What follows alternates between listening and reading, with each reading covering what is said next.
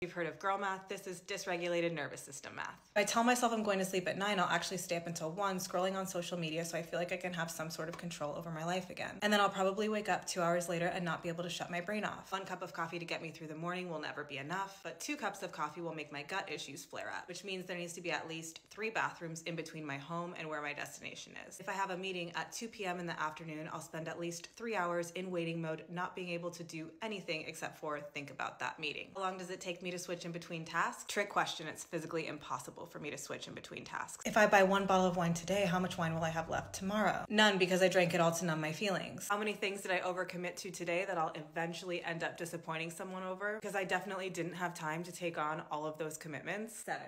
The sound of someone breathing too loudly next to me, plus the feeling of the bra digging into my back, equals one mental breakdown. How much money have I spent on new mattresses and massages to make my chronic back pain go away? Too much. How many years did I live with that back pain before I realized that it was a sign of my nervous system being dysregulated? Too many.